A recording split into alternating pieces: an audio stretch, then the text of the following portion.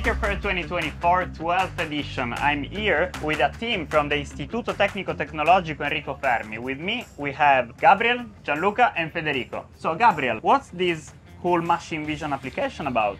This is a robotic hand controlled by an Arduino Uno R3 and uh, this uh, smart camera and uh, this hand is capable of uh, recognizing its owner which is Gianluca. Okay, so when Gianluca is sitting there, the hand is saying hello. Hello. So how about this AGV? It's a smart wheelchair that can uh, be controlled by a uh, vocal assistant and can recognize street signals. Computer, vai avanti. So computer, Sì. move forward. Comando già, vado avanti.